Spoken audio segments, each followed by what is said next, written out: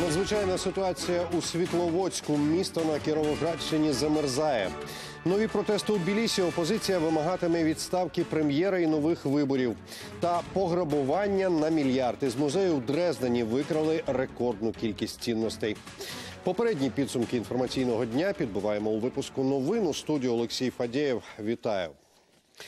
Шість будинків вигоріли ущент внаслідок ворожих обстрілів у дачному селищі Березовому під окупованим Докучаєвськом. Напередодні окупанти вдарили з великокаліберних кулеметів запалювальними боєприпасами. А сьогодні в районі Мар'їнки поранено місцеву жительку. Бойовики вели вогонь з одного з районів Донецька. Маршрутом Березове Мар'їнка проїхала наша знімальна група.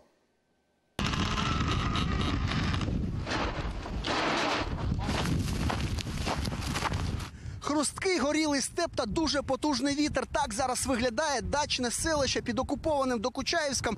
До лінії зіткнення тут менше кілометра. От вчора тут бойовики почали обстріли з крупнокаліберних кулеметів. При цьому застосовували запалювальні кулі.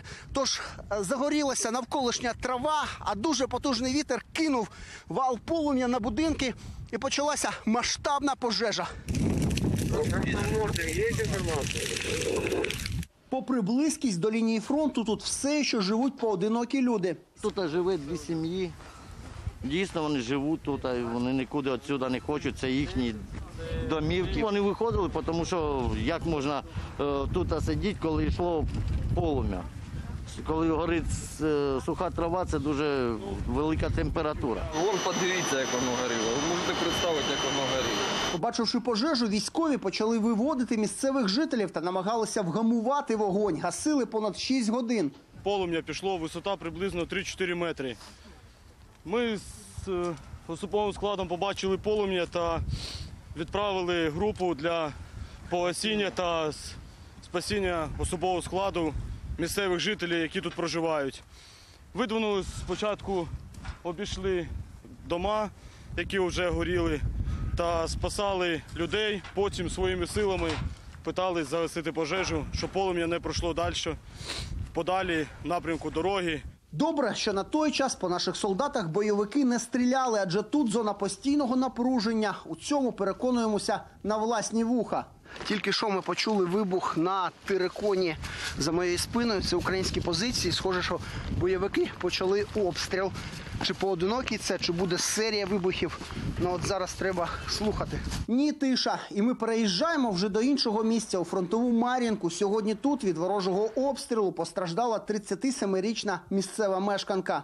Противник здійснював обстріл одного з зводних опорних пунктів в межах відповідальності нашої бригади. І завдяки перельоту е, вийшло так, що людина, яка в цивільному секторі жінка йшла з дитиною своєю маленькою, отримала кульове поранення, наскрізне поранення з переломом плечової кістки. Наразі жінці вже надали необхідну допомогу. Поранена в стабільному стані. З Донеччини Руслан Смещук, Дмитро Курченко та Валерій Соловчук. Новини телеканал Інтер. Медики Дніпровської лікарні Мечникова вкотре врятували життя українського бійця. 22-річний Єлізар дістав осколкове поранення у голову. Фахівцям вдалося встановити пацієнтові титанову пласти- пластину. І як зараз почувається військовий, чи зможе він повернутися до повноцінного життя, розкаже Олена Мендалюк. 14 лютого 2019-го життя Елізара поділилося на до та після. В цей день боєць Збройних сил України в районі Зайцевого зазнав тяжкого осколкового поранення голови. У- Очутился вот тут, в э, больнице. Да, э, не, не, не, не понимал, э, что делаю. Ну, то есть, э, я думал, ну, этот, с- это сон.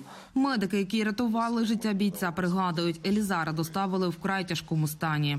черепно-мозговое ранение, осколок, который пробил голову, который пробил голову, начиная с виска и вылетел, по сути, рядом ближе к затылочной области, вырвал большой кусок мозга, руки, ноги не работали, состояние комы, несколько дней в реанимации, успешная повторная операция. Стан бійця покращувався, однак він ще не був готовий до подальших операцій. кажуть медики. В Елізара були проблеми з серцем, тому фахівці 9 місяців чекали, щоб накласти пацієнтові титанову пластину та усунути дефект черепа. Сама операція тривала трохи більше двох годин. По цій 3D-моделі виконана індивідуальна титанова пластина. Е, Метод називається стереолітографія. І ось результат операції. Повністю дефект закрит. Отож, Елізар починає заново жити у прямому сенсі цього слова. Мне сложно говорить, потому что я еще учусь, потому что я, э, когда п- сюда приехал, то я не мог го- говорить. У відділенні реанімації Елізар проведе ще кілька днів. Потім його направлять до госпіталю на реабілітацію. А вже звідти військовий мріє полетіти до Парижа. Олена Медлюк, Іван Біленко. Новини телеканал Інтер. Дніпро. У головному управлінні розвідки підтвердили інформацію про те, що колишній народний мер окупованої Горлівки Едуард Матюха є розвідником, і у ході спецоперації його повернули на підконтрольну територію. Про це напередодні повідомили у змі. За інформацією розвідки, Матюха 5 років перебував на території Ордло, вдаючи, що підтримує бойовиків. На сайті миротворець чоловіка називали посібником окупантів. На посаду народного мера Матюху призначили у травні 2014 року. Потім він був першим секретарем Горлівського міському компартії. На цій посаді налагодив зв'язки із російськими кураторами псевдореспублік і передавав важливу інформацію в управлінні розвідки. Продовжуємо випуск. Замах на життя юриста сьогодні здійснено у Харкові. Невідомі намагалися підірвати автівку, що належить місцевому адвокату. Вибух пролунав вранці в центрі Харкова у дворі житлової багатоповерхівки. Втім, минулося без жертв. Докладніше Світлана Шекера. Власник автомобіля Toyota Camry розповідає, о 10-й виїжджав з двору. Да, я тронулся уже, заехал, тронулся, и в этот момент взорвалась машина. Вибухівку, ймовірно, заклали під днище Тойоти. Та сам автомобіль сильно не постраждав. Більше дісталося сусіднім п'яти автівкам у дворі. Одна з них ущен зруйнована. Я так розумію, що вибуховий пристрій знаходився під днищем автомобіля і не був закріплений до, до автомобіля, або злочинці його, е, скажімо так, погано закріпили і він відпав. Вибуховий пристрій був саморобний і е, основою його був тротил. Ніхто з людей не постраждав. Власник авто, під яким невідомі прилаштували вибухівку, відбувся подряпинами на руках. А от вибух був такої сили, що повилітали шибки на трьох поверхах цього будинку та через дорогу в сусідньому. Дуже е, гучний вибух. Е, Покачнуло дом.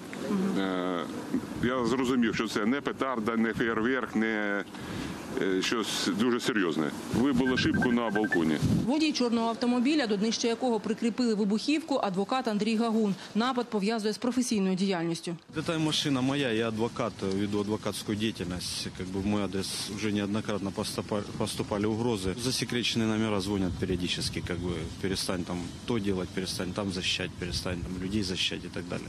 Правоохоронці відкрили провадження за статтею «Замах на навмисне вбивство». Камери спостереження зафіксували підозрілу автівку. Було встановлено поряд автомобіль марки Опель синього кольору.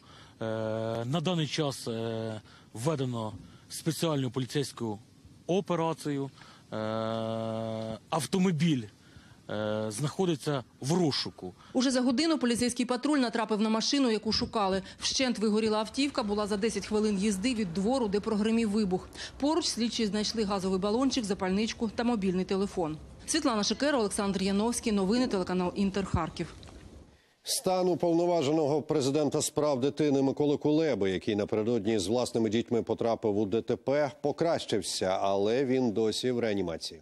У нього струс мозку, травми грудної клітини і живота. Постраждали також двоє його синів. Один із них із черепно-мозковою травмою все ще у тяжкому стані і непритомний. Аварія сталася у селищі Чабани під Києвом. На відео з камер спостереження видно, як автівка, якою керував Кулеба, виїхала на перехрестя на червоне світло. В машину посадовця врізався мікроавтобус Volkswagen. Його водій теж травмований.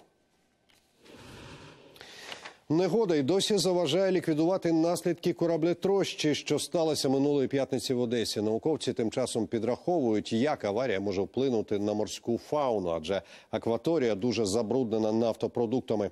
Усі подробиці з'ясував Андрій Анастасов. Ось так танкер Делфі виглядає нині. Екзотична картинка й досі привертає увагу сотень одеситів, але увага чиновників прикута до нафтопродуктів, які вилилися у море. У п'ятницю гранично допустима концентрація цих речовин була перевищена у воді майже в 160 разів. В суботу зменшилась удвічі. У сьогоднішніх пробах їх взагалі не виявили. ВК інспекції пояснюють, через потужний шторм нафтопродукти просто розвіялися у морі, але загроза не зникла. Это не означает, что нет нефтепродуктов на судне. Оно может быть опять волнение и будут вымываться с судна опять нефтепродукты. То есть пока судно там находится в таком состоянии, естественно, наблюдение надо вести. В адміністрації морських портів кажуть, саме для цього в найкоротший термін потрібно встановити бонові загородження не тільки на березі, а й навколо танкера. Але поки що цьому заважає шторм. Водолази ще мають обстежити судно, які в нього є пошкодження, і лише після цього вирішать подальшу долю Делфі. обследовать, зачистить судно, это танкер.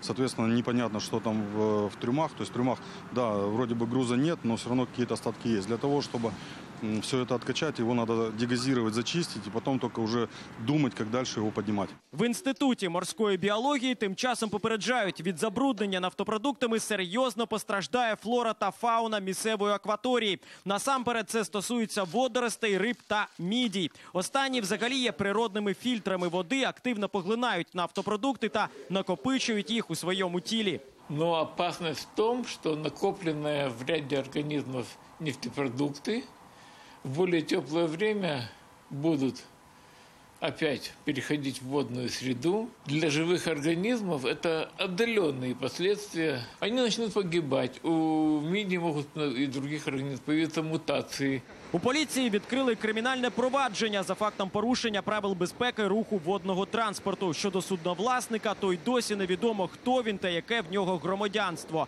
У порту між тим зазначають, саме судновласник у подальшому має компенсувати усі витрати щодо ліквідації наслідків аварії. Кораблетроща танкера, який йшов під прапором Молдови, сталося минулої п'ятниці. Троє моряків, які перебували на судні, евакуйовані. Андрій Анастасов, Ігор Міханошин. Новини телеканал Інтер Одеса. Надзвичайну ситуацію техногенного характеру оголошену у Світловодську Кіровоградської області. Місто обласного значення замерзає. Сьогодні там розгортають мобільні пункти обігріву. Про це сьогодні ж зранку заявив голова обласної адміністрації Андрій Балонь. За словами чиновника, відновлено відновленню повноцінного теплопостачання у місті заважають численні прориви мереж. Приватне теплопостачальне підприємство Світловодськ Побут упоратися з ремонтом не може, тому на підмогу йому виділили додаткові бригади комунальних служб, зокрема із сусіднього Кременчука. В адміністрації запевнили, прориви мають повністю ліквідувати до ранку середи. а, 27 листопада.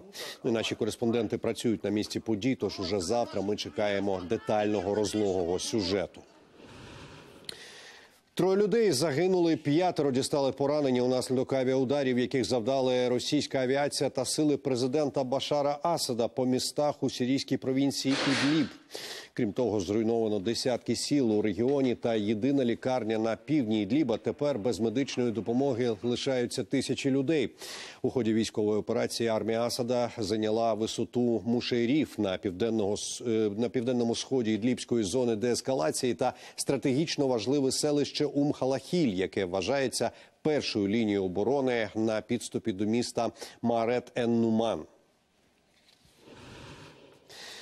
В Іраку тривають масові антиурядові протести. Силовики розганяють мітин- мітингувальників вогнепальною зброєю. Такі випадки зафіксовано у провінціях Басра, Насирія, Наджаф, Діванія.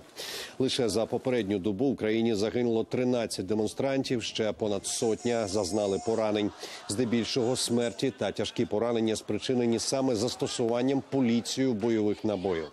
Нагадаю, масові антиурядові протести в Іраку тривають ще від початку минулого місяця. Люди невдоволені безробіття Україні, низьким рівнем життя та корупцією у вищих ешелонах влади. Імпічмент. А що далі? І автори розслідування і команда Трампа публічно озвучили свої прогнози та наміри, як демократи атакуватимуть, а в Білому домі захищатимуться. Всі гучні заяви політиків зібрав Дмитро Анопченко. Розслідування щодо імпічменту, яке за першими прогнозами могло завершитися вже до нового року, затягується. І що конгресмени-демократи, що оточення Трампа діляться своїми прогнозами, тепер уже не роблячи із цього таємниць і не приховуючи бажані планів просто в прямому ефірі. Один з ключових персонажів в цій історії Адам Шиф заявив CNN, надходить все більше інформації на користь імпічменту Трампа. каже, вже зараз є неспростовні докази причетності президента до порушень, які тягнуть за собою відсторонення від влади, але розслідування все одно продовжиться. Ми відкриті для нових свідчень, і нових слухань. Ми щодня отримуємо свіжу інформацію і вважаємо, що це триватиме. І доказів уже величезна кількість. Це незаперечні факти того, що зробив президент. Шиф визнає, хотів би викликати для свідчень під присягою ще й зоряних свідків, таких як Майк Помпео або Джон Болтон. Йому рано чи пізно таки доведеться пояснити, чому це він вичікує і збирається книгу писати, замість того, щоб розповісти громадянам Америки все, що знає, у той момент, коли це справді важливо для країни. Свій план вперше публічно оприлюднив і Білий Дім. Радниця президента Келіон Конвей зробила це того ж дня, що й конгресмен Шиф, тільки в ефірі CBS. Каже, в оточенні Трампа приготували і план А на випадок, якщо демократи в нижній палаті все ж не наберуть голосів для імпічменту, і більш об'ємний план Б, якщо за імпічмент проголосують. І справа далі піде в Сенат. Так ось в цьому випадку президент і його прихильники організують нові масштабні слухання. Тільки оскільки в Сенаті у них більшість, то зможуть викликати на допит тих свідків, яких дотепер не могли. Якщо буде процес у сенаті, ми зможемо викликати свідків. Президент запросить своїх юристів, і тоді захист перетвориться у напад. Ми заслухаємо різних свідків, зокрема й автора скарги на Трампа та його адвоката. Серед свідків, яких викличуть сенат, може бути і син Байдена Хантер, показання якого можуть вдарити по батькові і його шансах у виборчих перегонах. Але, попри заяви Конвей, Дональд Трамп все одно готується не тільки нападати, але й захищатися. За даними преси, він наймає зараз одного з найкращих американських фахівців з конституційного права Дженні Еліс як юридичну радницю для кампанії 2020 року. Мабуть, розуміючи, що і звинувачень буде ще багато, і юридичних складнощів теж. З Вашингтона Дмитро Онопченко, Сергій Коваль, американське бюро телеканалу Інтер. Політичні протести продовжують струшувати Грузію. Масштабну антиурядову акцію у Тбілісі збирає сьогодні грузинська опозиція. І якщо збори відбудуться, вони мають відбуватися вже цієї хвилини. Активісти мають пройти маршем від площі республіки до будівлі парламенту. І головні вимоги ті самі: відставка прем'єр-міністра та проведення дострокових парламентських виборів. Протести в Грузії спалахнули півтора тижні тому, після того як парламент провалив голосування щодо переходу на пропорційну виборчу систему. Попри обіцянки влади перейти на таку, тоді мітингарі намагалися заблокувати парламент, що й призвело до силового розгону та затримання активістів. Як справи сьогодні дізнаємося вже найближчим часом. Шестеро загиблих і ще з десяток зниклих безвісти. Такі наслідки негоди в Європі. Францію, Італію, Грецію заливало всі вихідні. Масштабні повені призвели до евакуації тисяч людей. З усіма подробицями далі Світлана Чернецька. З висоти пташиного польоту добре видно, якої біди накоїла велика вода. Найбільше постраждав південь Франції. У окремих регіонах за добу випала дво, а то й тримісячна норма дощу. Річки повиходили з берегів, будинки опинилися під водою. Лише дахи стирчать. З гелікоптера ситуацію оцінює міністр внутрішніх справ Франції. Його приїзду місцеві мешканці очікували кілька днів. Люди звинувачують владу у зволіканні та недостатній допомозі.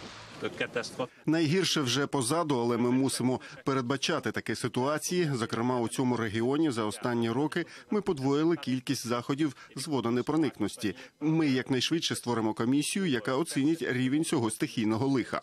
Знамените лазурове узбережжя не впізнати. Бурхлива вода відносить у море дорогі яхти, хвилі сягають будівель.